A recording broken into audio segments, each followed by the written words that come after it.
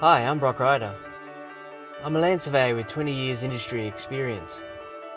I joined SenseFly in 2012 when I realised the potential drones had to transform the surveying industry. At SenseFly we produce autonomous, lightweight mapping drones for civilian applications such as surveying, GIS, agriculture and many more. Just like famous Swiss watches, our drones pack high precision technology into a reliable compact system. Surveying is about getting accurate and reliable results, and the eBee RTK allows us to achieve this in a fast and safe way.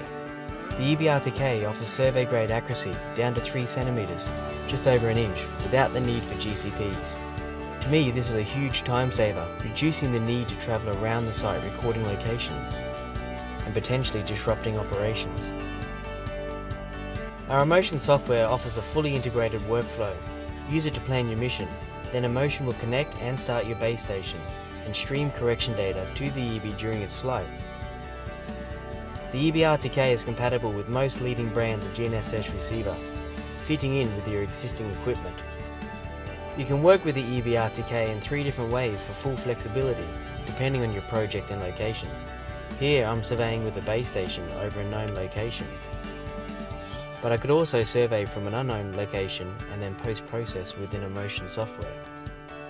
Or I could use VRS mode without the need of a base station on site. Back in the office I complete the project using Postflight Terra 3D software to automatically generate point clouds, DSMs and orthomosaics.